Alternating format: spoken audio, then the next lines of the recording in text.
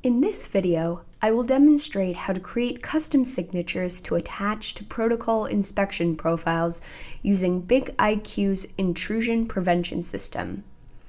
I will also show you how to pin the updated inspection profile to a managed BigIP device.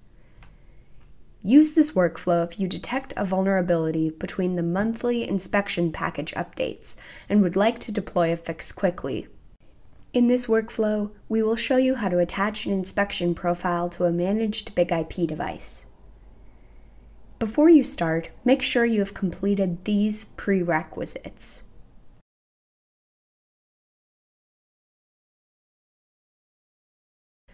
To begin, log into BigIQ with the account credentials. Under the Configuration tab, expand Security, then Network Security, Protocol Security, and finally, Inspection List. First, I need to create a custom signature.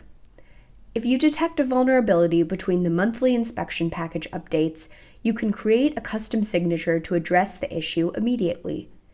Remember, the monthly inspection package updates normally address the vulnerabilities, so you only need to use a custom signature until you download the next update. To open the new inspection signature page so I can define the custom signature, I select Create. I type fake SSL detection for the name of my new signature. Then I use the snort syntax to add a custom signature in the signature definition field. You can specify an action for this custom signature either now or at a later point. I will demonstrate how to do both. The custom signature I'm defining here creates an SSL inspection service that checks for fake SSL certificates.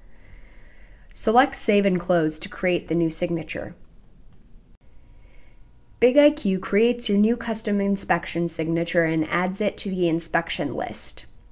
Additionally, BigIQ adds the new signature to all inspection profiles that use the same service type. In this case, I specified the SSL service, so the new signature is added to my SSL inspection profile. Next, I will demonstrate the second way to instruct BigIQ how to use the signature. To do this, I change the inspection action in the profile that uses the signature. To do so, I navigate to Inspection Profiles and click the name of the profile I use for SSL. Under Inspection Properties, the signatures in this profile are listed. I navigate to and then click the name of the signature I just created.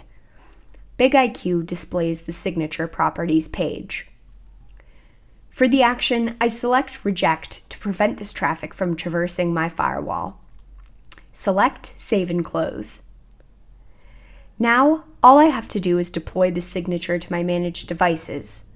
To do that, I attach the profile that contains it to either a virtual server, a network firewall rule, or a managed big IP device.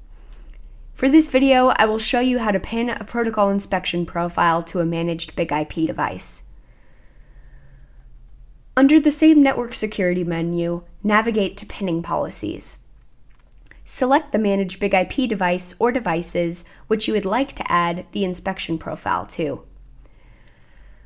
From the Network Security menu at the bottom of the screen, select Inspection Profiles from the drop-down menu to bring up the list of inspection profiles in your BigIQ. Select the inspection profile you just added a custom signature to. In my case, this is a profile that uses the SSL inspection service.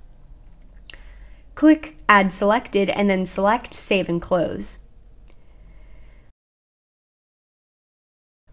Once you've finished adding a custom signature to an inspection profile and pinning the inspection profile to a BigIP device, you will need to evaluate the changes and deploy them to the target BigIP devices. For more information about evaluating and deploying, see the documentation in the description. We hope you found this video helpful. For more information, go to askf5.com. Specific links are listed in the video's description. Thank you.